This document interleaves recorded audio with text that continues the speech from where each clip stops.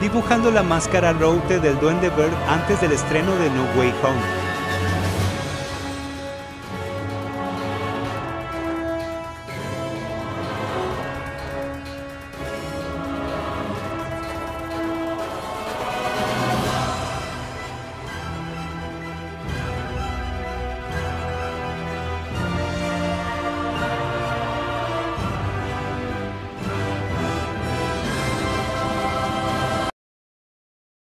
Y listo XD.